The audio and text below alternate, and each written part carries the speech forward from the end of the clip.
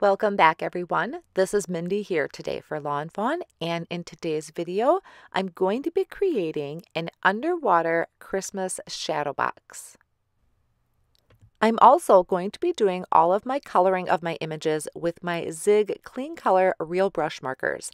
I typically color my images with Copic markers. That was the first color medium that I started with. I'm fairly fast at it and comfortable with it. I know the color combinations really well that I like to work with, but it's not always an affordable option for people.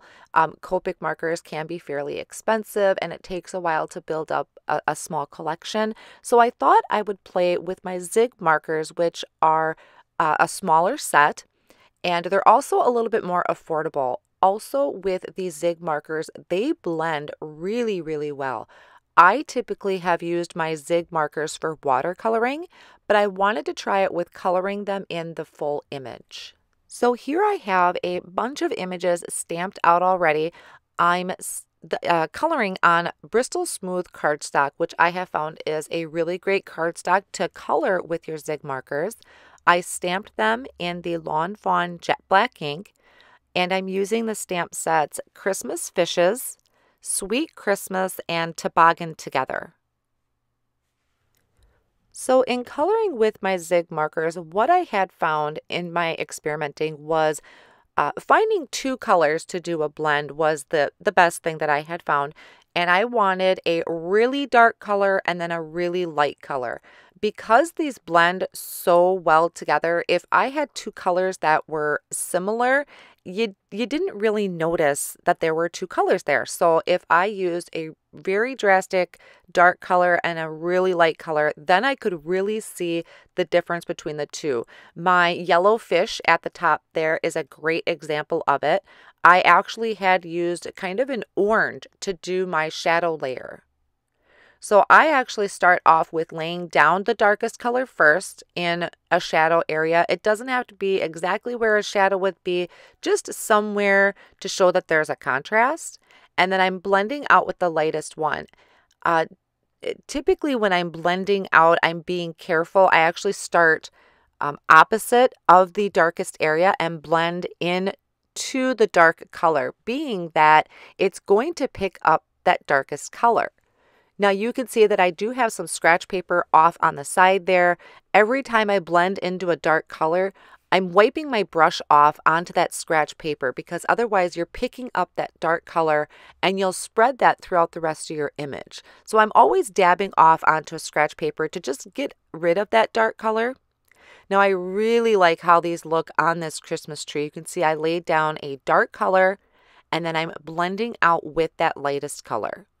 And when I blend out, I'm just blending right into that dark dark color. It'll pick it up and blend them together really, really well. So this is also a, quick way to color. There isn't as much work to do the blending. They blend out very, very well together. So it does help speed up that process if you don't want to take a lot of time to color. One thing to be mindful about is don't drag your hand over your image right after you color it. It will take a little bit to dry because these are water-based markers and they're not soaking into this Bristol Smooth cardstock. So just give it a few minutes to dry before you run that through your die cutting machine or uh, before you start moving your images around. So once I had die cut them using the coordinating die, I'm just taking a couple of the smiley faces and stamping them onto the images. Now I'll work on the assembly of my shadow box. So using that shadow box die, I die cut a solid panel from both Peacock and Mermaid cardstock. My window panel uh, for my box is also from the Peacock cardstock. And then I'm going to use these pieces from Kraft Cardstock, these are the inserts that go in the shadow box, and that's from the Kraft Cardstock. I saved that rectangle from die cutting my window, and then I also have a speech bubble here that I die cut using the Say What gift tags, and it's just a speech bubble that's going to be for the front of my card. So I'm just going to start working on the assembly first. I'm folding along all of those scored lines, so the flaps that are going to connect together. And I'm just going to reinforce that with my uh, bone folder. I'm also going to do that to my inserts, but only on two of them. The other two, I will actually be trimming those tabs off. So these are the two I want. One of them is going to be for the background of my shadow box, and the other one will be for the front of my card. So I already went ahead and trimmed those tabs off. And now I'll start working on some of the assembly. I'm just going to go ahead and add the double-sided tape to those tabs and also the tabs for two of the inserts. So two of my inserts still have the tabs. The other two, I cut off the tabs. Now to assemble the shadow box, I'm going to just butt these two right up next to each other remove the backing on that double-sided adhesive and give that a good push down. Now you could have that tab on the outside of the box if you wanted. I'm okay with it being in the inside because I'm covering it up with this rectangle piece of cardstock that I die cut from Mermaid Cardstock. So this is the background of my shadow box. I'm kind of creating a little scene in the back.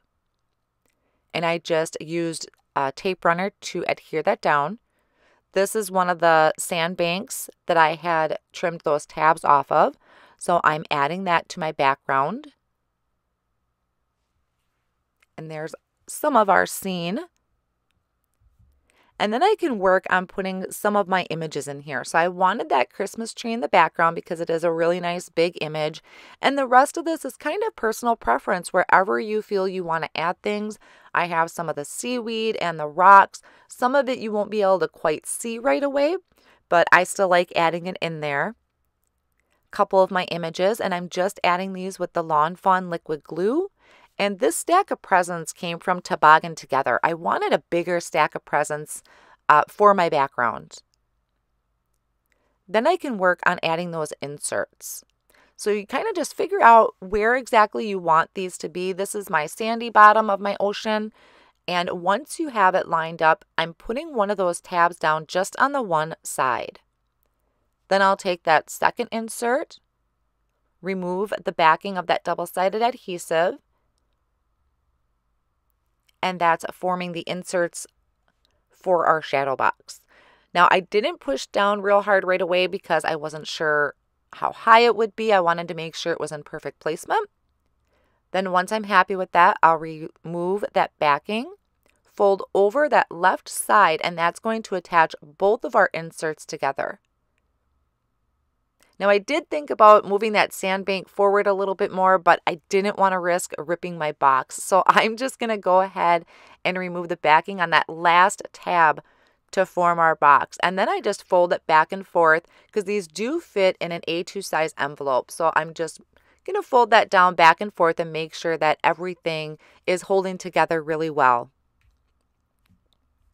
And then I can start decorating the rest of my inserts. So I have a little sucker here. This actually came from the Sweet Christmas along with the candy cane that I had colored up. I just thought it was kind of a fun, uh, fit the Christmas scene really well. So some of them I'm using the liquid glue. You just want to make sure that you don't have any of that glue kind of sticking out uh, outside of that image because otherwise your box is going to stick together. Now I do have a fish that I wanted to kind of have popping up above everything. So I'm taking a piece of acetate and just trimming off a little thin strip. I'm going to add a little bit of that double-sided adhesive to the top and the bottom and stick my little Santa fish on there and then I can attach it behind there in my insert. So it looks like he is swimming up towards the Christmas tree. Once I'm happy with that, I'm going to work on the cover. Uh, now this is kind of a cover for it. It reminds me of like a storybook. And this just gives me a little bit more room to write an additional message. So I trimmed off the tab on this one. This was die cut from the shadow box die. I trimmed off the tab and you can see I'm just going to attach the side there. It's going to open up like a storybook. And I'm going to decorate the front of this. So using that rectangle that popped out from our window when we cut our shadow box, I'm taking that stitched oval that's also in the shadow box die. And I'm going to die cut out just a small oval window from here. So I'll hold that in place, in place with some low tack tape. And then I trimmed down that fourth uh, sand bank that I had die cut earlier from the kraft cardstock. So I trimmed that down to fit behind my window, decorated that with some of the extra rocks and seaweed that I have. And then I can trim off any excess that's hanging over and attach that to my card front. Now I also had some extra fish, so I'm going to put the fish in there. Just attaching those with some liquid glue. And here's that speech bubble. I thought this was a really cute addition to this. I'm adding that bloop. This is from the Critter Chatter stamp set, uh, Critter Chatter Pets. So I'm adding the bloop with the little exclamation point and I'll have that be on the front of the card for the fish. And I'll also be using the translation sentiment on the inside. So, kind of this fish wishing everyone the happy holidays. So, I die cut, actually, I just trimmed a piece of guava cardstock down to fit on the inside of my cover. And using my MISTI tool, I'm going to stamp this in embossing ink and I like to stamp mine twice because I don't want to push real hard the first time. So since I'm using the MISTI tool, I can stamp it twice and that'll be a really nice inked up sentiment. And then I can sprinkle on the white embossing powder and heat set that with my heat tool. So we have bloop on the front of the card and translation is season's greetings. And then I can go ahead and just add this to the inside of my panel there. And then we could start working on attaching this. And I'll just take double-sided adhesive and attach it to this panel that's going to be connected on the side. The double-sided adhesive uh, holds really well. So you can see it kind of lines up. It's going to open up like a book and we're just attaching it to that side panel. So at this point, I kind of thought I was done with the card. I had it attached. I felt like that sentiment panel was missing something. And as I was digging through some of my dies, I usually die cut quite a few things and then I save them for later if I have extra. And I'll give you a close up look here of the inside of the shadow box just real quick. And once I kind of started thinking about it, I decided to add a little bit extra to this card. So here we have the inside opening up into this really cute underwater Christmas scene. You could even add some of the glitter pen to this. You could add glitter to these, really jazz it up, give it a lot of sparkle. And I and that was what I felt like I was missing was some sparkle and something for that sentiment panel off on the side. So once I went digging through, I found from my previous card, I still had some mini string of lights left over. So I trimmed that down to fit right above uh, my shadow box area so I'm just going to take those and add those white bulbs to my Noble Fir uh, string of lights.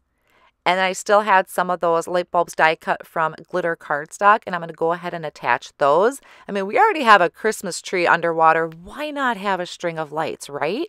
And that made me happy because then I got my glitter in there. Now, also, I had some leftover snowflakes. This is why it's always good to save anything you die cut extra of because you just never know when it's going to work for another project. So once I have all of my string of lights added there, I'm just taking a little bit of that glue to the adding it to the top of the string of lights. Like I said, you want to be careful you don't have any excess glue sticking out because you don't want your card to stick together. You want them to be able to open it up. It's so cute. I was so excited that that kind of popped into my head. And then I'm using some of those extra snowflakes to add to the front of the card as well. And I did add some around my sentiment on the inside panel. So I put a lot of those extra pieces to use. And that finishes off our underwater Christmas scene. So I hope you enjoyed today's video and I hope it inspired you to create. Thank you so much for stopping by.